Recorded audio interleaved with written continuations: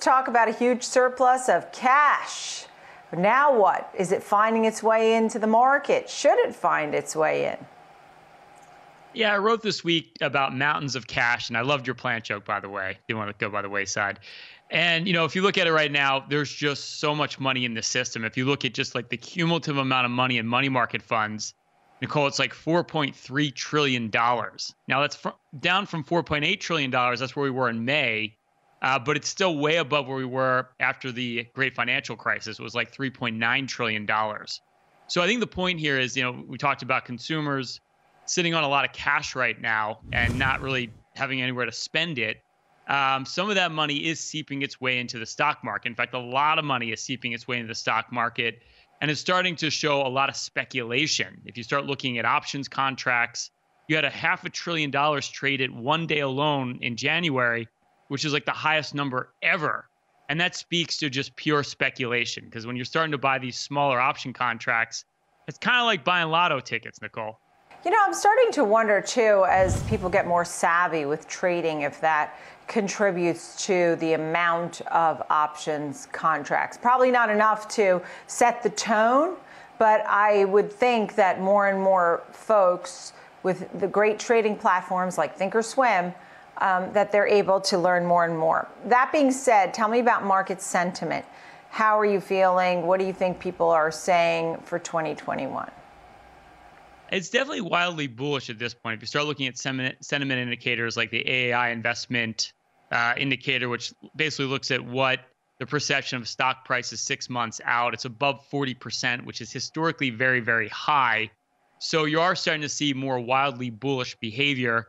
And also, you know, last year, I was one of the few people calling for a V shaped recovery. At that point, I was not in the majority. And it was much harder to be bullish but now, kind of the cat's out of the bag, right? We know we have mass vaccinations going on.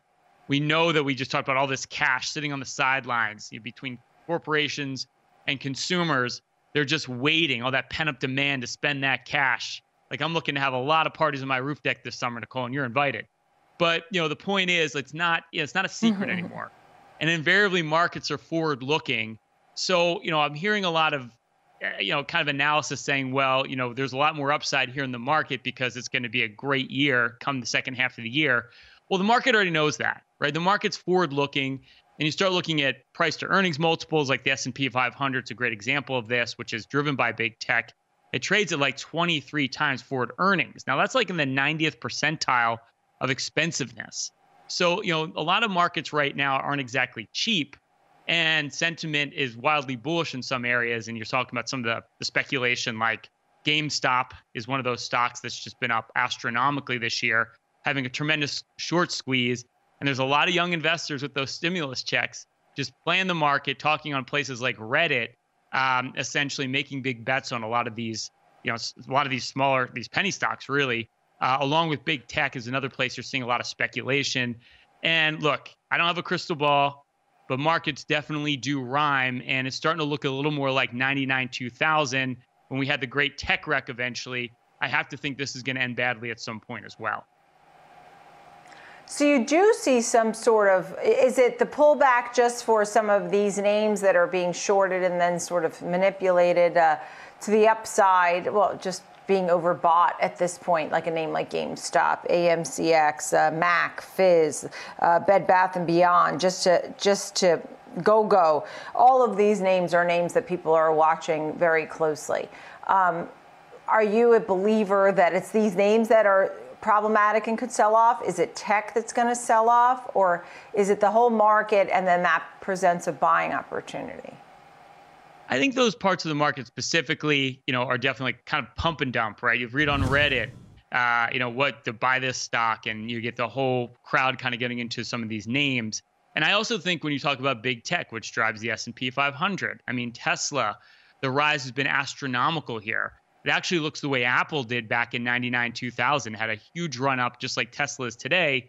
And then the stock proceeded to lose 80% of its value. So I don't think it's far fetched to say a lot of these tech names you know, could have a tremendous sell off at some point in the future. Now, having said that, and you go back to 99 2000, because I like to use history as our guide here, a lot of markets sure. held up well when the tech bubble finally burst. And I think you have the same thing today. You have a lot of cheap multiples out there too. You know, numerous times I've spoken about on your show just how cheap energy is. I mean, energy's been in a bear market since 2014.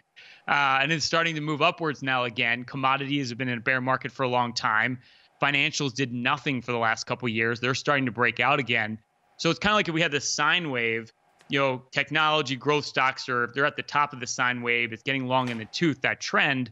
And the meanwhile, at the at the bottom here, just starting the trend, you have old school value stocks. You have things like uh, financials, energy stocks, materials, a lot of the reopening trade. Those type of stocks are just getting moving, and their multiples are a lot cheaper. And you can also argue the same thing about the international market.